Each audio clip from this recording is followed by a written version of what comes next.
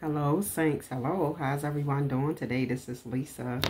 Hello, hello, hello, hello, hello. Amazing grace, so sweet the sound that saves a wretch like me. I once was lost, but now I'm found. Was blind, but now I see. Hello, how are you, everybody? Welcome, welcome, welcome to this channel. Please like, subscribe, share.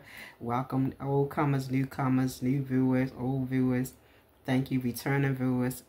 Thank you, Jesus. Thank you, thank you, Lord. Yes, this video was covered through the blood. I'm going to talk today a little bit, just a brief video about um, what God is doing in this hour for his kingdom marriages right now for some. Heavenly Father, we thank you, Jesus. Have your way, oh God. Decrease me and increase you, Father. Lord Jesus, use my lips, oh God, to be prophetic in your will, and your way. Use me mightily, oh God. Cover us in the blood in Jesus' mighty name. Cover our marriages, Father God, for those who are getting married in the name of Jesus and for those who are already married, may you cover them.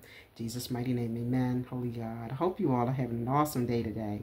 Yes, fire, fire, fire, fire, fire, ring of fire in the house. So I want you all to know that God says that he is doing a new thing right now and he's really, really moving out the old, into the new in the month of October. And uh, God is, uh, is pushing together his remnants all right, to come together and be joined as one, everybody, okay? So he says that um, in Hebrews 13, 4, let marriage be held in honor among all, and let the marriage bed be undefiled, for God will judge the sexually immoral and adulterous. So God said that he's putting these marriages together to be undefiled, okay? Your man and woman should be for one another, not no one else outside. So Proverbs 18, 22, he who finds a wife finds a good thing and obtains favor from the Lord. The Lord said he's given the man a good wife and his favor his favor in that, so treat her good. Genesis 2.24, Therefore a man shall leave his father and his mother and hold fast to his wife. They shall become one flesh. So God says that when you become married, you have to be as one. It's no longer two, but one. All right? You're coming together. First Corinthians 13, 4 through 7. Love is patient. Love is kind. Love does not envy or boast. It is not arrogant or rude. It does not insist on its own way. It is not irritable or resentful. It does not rejoice at wrongdoing, but rejoices with the truth. Love bears all things, believes all things, hopes all things, endures all things. He says in John 14, 27, Peace I leave with you, my peace I give you. I do not give to you as the world gives. Do not let your hearts be troubled and do not be afraid. Holy God, we thank you, Jesus. For such a time as this, God is saying that right now, um, for some, he's already giving you some of the um, plans to write down that he's giving you. Some have received um, who your wedding photographer is. Some have received uh, God saying that referrals are coming. And God is putting some people to take a flight. He's saying to take a flight and spend a night in Wonderland. So some people are going on destination weddings um, God is saying uh, destination weddings and he's uh, like like St. Thomas Virgin Islands for one is a destination wedding that um, I was hearing. Um, some are going to be doing have like a spur of the moment wedding. Um, um, is where it's really really you know fast. This this is like God is moving things speedily. God is giving people their locations where they're going to be living. Okay, I was hearing nosy neighbors, so somebody is going to have nosy neighbors. So be careful with that. When somebody's moving next to some nosy neighbors, so be careful how you are doing things. Okay, don't have people all in your business. And God is, I heard the word skip to the loo, my darling. So God is saying out with the old and with the new. Some people are not going to be happy. Some old lovers aren't going to be happy with God, what God is doing. But God is saying, um, if he's told you some things and he's uh, talked to you and you pray to God and God is moving you, this is your time. You know who you are. Um, take heart to know that God is moving things and blessing things. This is the um, pleasurable time. All right. It's a time of the have and have nots, everybody.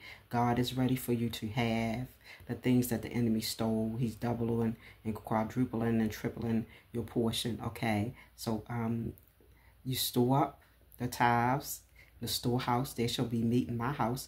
that he will pour you out a blessing you shall have room enough not to receive. All right, everybody is in Malachi 3.10. God is blessing you with the blessings of uh, Joel 2.25 blessings. He says to, he's giving you double a portion for your trouble what the cankerworm has stolen. All right, he meant it for your good. God is really going to do this thing for you all who have been really, really waiting for um, your marriages to take place, for your Boaz and your Ruths.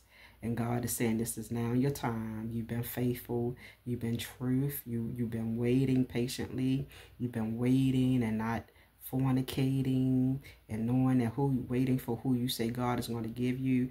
God say that it's now your time. All right. So this is good and plenty. This is time for good and plenty. He told me good and plenty. So this is your time of good and plenty right now. God is blessing you. He wants you to be happy. He wants you to um to to to reverence him and he wants you to treat each other right because this is a blessed union. All right. So God so loved the world, he gave his only begotten son, whosoever will let him come. In, Proverbs 21, 9, he says, It is better to live in a corner of the housetop than in a house shared with a quarrelsome wife. All right? So God wanted, he wants you all to be blessed and to be happy, be fulfilled. All right? And just walk in the way that he wants you to go in. But God is ready for you all to be happy, okay? First Peter 3, 7, he says, Likewise, husbands, live with your wives in an understanding way, showing honor to the women as the weaker vessel, since they are heirs with you of grace of life, so that your prayers may not be hindered. See, God wants us to pray together. He wants you, men and women, and your wife, take your wives and pray together, all right? A family that prays together, stay together, all right?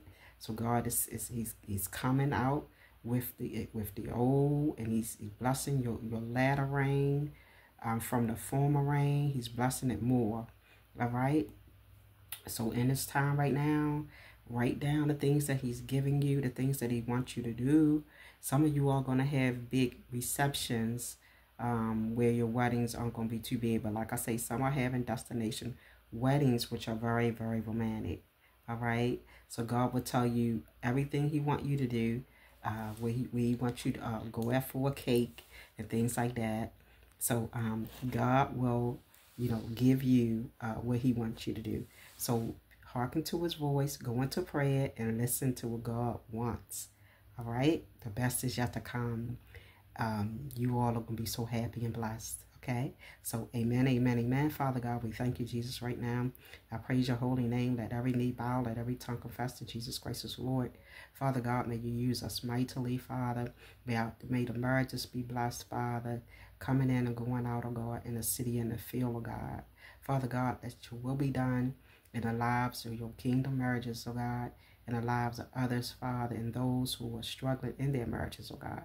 May they come together as one accord, oh God, to be in oneness with you, oh God. Man cannot live by bread alone, but by every word of the mouth of God. Cover their homes, their marriages, their families. Increase, increase, increase, increase in the name of Jesus. Um, God is blessing right now with portions where families are going to be amazingly blessed. He's, his miracles are happening right now, okay?